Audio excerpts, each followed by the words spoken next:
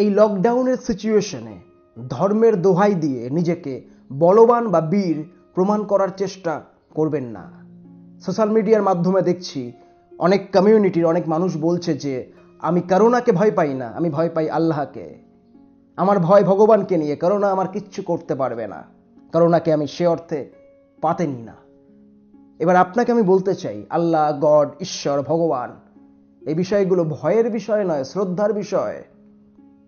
আপনি তো ভয় পেয়ে বসে আছেন। আপনাকে বলতে চাই, আপনি মূর্খ নন, সাধারণ মানুষ, তবে আপনি কিন্তু মূর্খের মতো আচরণ করছেন বর্তমান সময়ে দাঁড়িয়ে।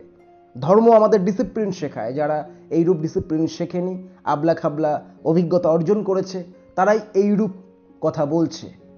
এবং আপনার এই কথা অন্যকে অনুপ্রেরণা দিতে পারে বাজে দিক দিয়ে। তাই আপনার কমিউনিটিতে যদি এইরূপ মানুষ থাকে, যারা ধর্মের দোহাই দিচ্ছে দিয়ে মাস্ক পরছে না, সরকারি বা প্রশাসনের এইরূপ বার্তাকে মানছে না, তাদেরকে মানানোর দায়িত্ব আপনার। আপনি যদি একজন দায়িত্ববান নাগরিক হয়ে থাকেন।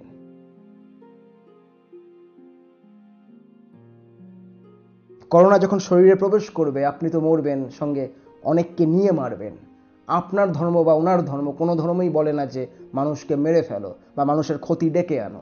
তবে আপনি কিন্তু এই সময় ধর্মকে ভুলে গিয়ে বা ধর্মকে সিংহাসনে তুলে আইন প্রশাসনকে ভুলে গিয়ে এইরূপ বার্তাকে অবমাননা করলে বা লঙ্ঘন করলে আপনি কিন্তু আদতে মানুষের, নিজের নিজের পরিবারের ক্ষতি ডাকছেন। দয়া করে ডাকবেন না, ডেকে আনবেন না। আপনি যদি মফস্বল এলাকায় বসবাস করে থাকেন এবং সোশ্যাল মিডিয়াতে আছেন, আমাকে দেখছেন, আপনাকে বলতে চাই যে আপনার এলাকায় যদি কোনো মা কাকিমা পাড়ার মোড়ে, এর উঠোনে, ওর বারান্দায়, অন্য জায়গায় জটলা বেঁধে গল্প করছে। বিষয় বিবিধ। তাদেরকে এই মুহূর্তে বলুন যে, এই রূপ গল্প থেকে বিরত থাকতে। তারা যেন নিজের ঘরে থাকে, নিজের জীবনের গল্প ভাবে, নিজের জীবনের গল্প লেখে, না হলে কিন্তু আপনার এলাকার গল্পটা বদলে যেতে পারে। আপনি কোনো গ্রাম এলাকায় থাকেন, যেখানে রাস্তা হতে পারে মাটির, হতে পারে সুরকির, হতে পারে ইটের বা ছোট। সে অর্থে সেখান দিয়ে বাস, গাড়ি যায় না। আপনি ভাবছেন যে আমার এলাকা শান্ত আছে, ঠিক আছে। চল গিয়ে আড্ডা দিই, আমবাগানে, পুকুর পাড়ে, ওর বাড়িতে, পাঁচ ছয়জন বন্ধু মিলে। এই সময় এইরূপ আড্ডা থেকে নিজেকে দূরে রাখবেন। এইরূপ আড্ডা আপনাকে সাময়িক মানসিক আনন্দ দেবে। আর এই আনন্দ পেতে গিয়ে যদি একবার ঢুকে যায়, ভবিষ্যৎ জীবনটা কিন্তু আপনার কাছে এবং আপনার পরিবারের কাছে নিরানন্দের বিষয় হয়ে যাবে। তাই দয়া করে গ্রাম্য এলাকার এবং মফস্বল এলাকার এইরূপ আড্ডা থেকে নিজেকে যতটা পারবেন দূরে রাখবেন। ঘরে থাকুন, নিজের সাথে আড্ডা দিন। এখন সময় নিজের সাথে কথা বলার, নিজেকে তৈরি করার, নিজেকে নিয়ে ভাবার। আপনি ঘরে আছেন। হঠাৎই আপনার ভাবনা চিন্তায় কৌতূহল জন্মালো যে, বাজারের মোড়ে পুলিশ আছে কিনা দেখে আসি তো। পুলিশ কাউকে মারছে কিনা, কাউকে তুলছে কিনা, কাউকে ধরছে কিনা, কোনো দোকানপাট ভাঙছে কিনা, কোনো রিপোর্টার এসছে কিনা, ক্যামেরার সামনে যাওয়া যাবে কিনা, টেলিভিশনে আমাকে দেখানো হবে কিনা এইরূপ কৌতূহল নিয়ে বাইরে বেরোবেন না। এইরূপ কৌতূহল কিন্তু আপনাকে খারাপ পথে নিয়ে যেতে পারে। যে পথে পুলিশ আছে, যে পথে করোনা আছে। তাই এইরূপ কৌতূহল থেকে নিজেকে দূরে রাখবেন। ঘরে থাকুন, নিজেকে সময় দিন, নিজের পরিবারকে সময় দিন। কিন্তু কৌতূহলের বসে রাস্তায় ঘুরতে যাবেন না। সাইকেল নিয়ে হোক, বাইক নিয়ে হোক, হেঁটে হোক, অন্যকে নিয়ে হোক।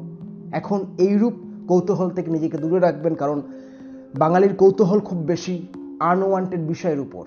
যে বাঙালি নিজের বিষয়ে কৌতূহলী, সে বাঙালি এখন ঘরে আছে, নিজেকে তৈরি করছে, নিজেকে সময় দিচ্ছে।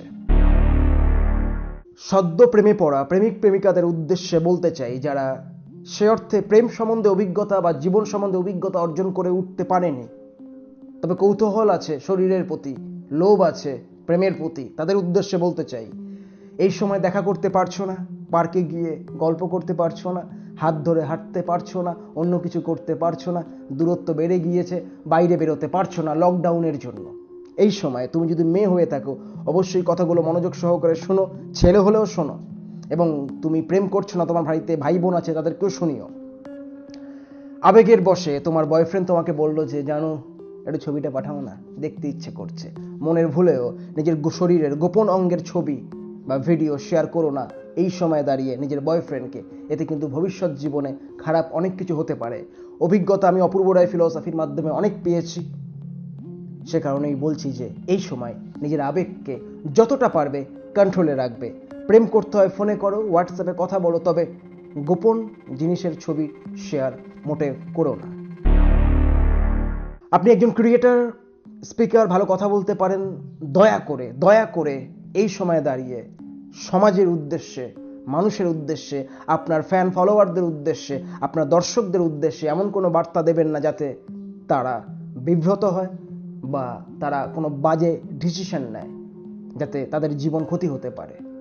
তাই দয়া করে আপনি যদি ক্রিয়েটার হয়ে থাকেন বা আপনি যদি একজন স্পিকার হয়ে থাকেন, একজন পপুলার পার্সন হয়ে থাকেন পাবলিক ফিগার হয়ে থাকেন, এই সময় ভালো কিছু বার্তা দিন, আপনার দর্শকদের উদ্দেশ্যে যাতে তাদের ভাবনা চিন্তা সুরক্ষিত থাকে এই অসুরক্ষার সময়ে।